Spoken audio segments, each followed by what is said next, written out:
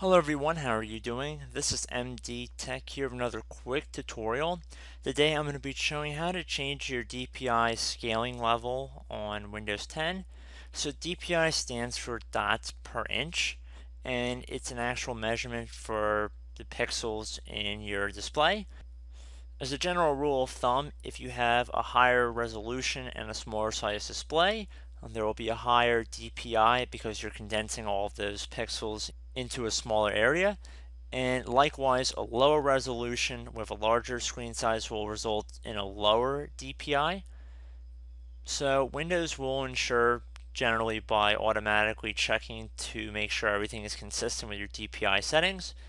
So most computers do not need to be adjusted. However, I did want to make a brief tutorial showing you how to manually adjust the scaling level for DPI on Windows 10.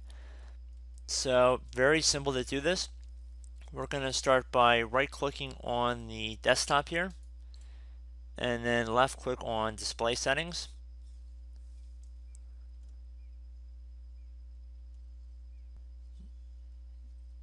You want to make sure you're underneath the display tab at the top here. There's an option on the right side that says change the size of text, apps, and other items. So right now we can see it's set to 100%. We can actually drag it over up to 150%. We could also change the orientation of the page if we chose to do so.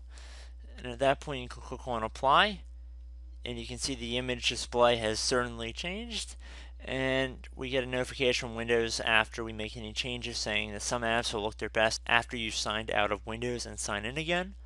Uh, we'll sign out later here. And let's say we go back we click on apply, we see everything kind of goes back to normal. So anyway, I hope this brief tutorial helped you guys out and I will catch you in the next tutorial. Goodbye.